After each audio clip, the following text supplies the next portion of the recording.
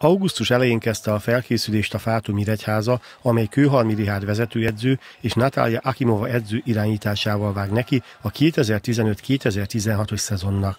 A csapat gerince együtt maradt, a régiósok közül a romániai Sikos Petra, a brazil Debora Ribeiro Araújo és a venezuelai Neymar Valdez továbbra is a nyíregyháziakat erősíti, hozzájuk csatlakozott a Trinidad és Tobogói válogatott Dálene Ramdin, Sitkei Marian pedig Miskolcról érkezett. A bújtosi csarnok felújítása miatt a csapat nem lépett pályára hazai környezetben, viszont erős ellenfeleket felvonultató tornákon mérhette le, hogy hol tart a felkészülésben. A szakvezető bizakodó a jövőt illetően azt gondolom, hogy azt a munkát, amit szerettünk volna, azt maradéktalanul elvégeztük.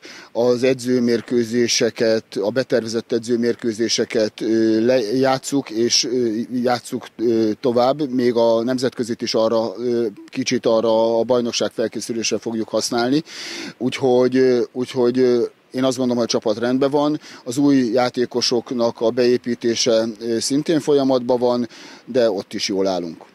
A Fátum Nyíregyháza a nemzetközi porondon is megméretteti magát. A Challenge kupában a szerb Jedisnos Starapazovával mérik majd összetudásukat Erdős Zsófiáig, előtte azonban a Merza kupában lép pályára a csapat. A 9 együttes felvonultató sorozat első tornáját október 13-án és 14-én rendezik Szlovéniában. Annyit kell tudni, hogy négy magyar csapat is szerepet kapott ebbe a, a bajnokságba. A rajtunk kívül a Vasas, a Gödöllő és a Békés Csaba is játszik. A mérkőzések tornarendszerbe lesznek lebonyolítva. Ez azt jelenti, hogy jövő héten mi egy hármas csoportba fogunk megmérkőzni Szlovéniába, a hazai Kamnyik és az osztrák Svehát csapatai ellen. A bajnokságban először október 18-án vasárnap hazai környezetben a Vasas ellen pályára a Fátum Nyíregyháza. A legutóbb ötödik helyen végző együttes mind a bajnokságban, mind a Magyar Kupában a legjobb négy közé kerülést tűzte ki célként.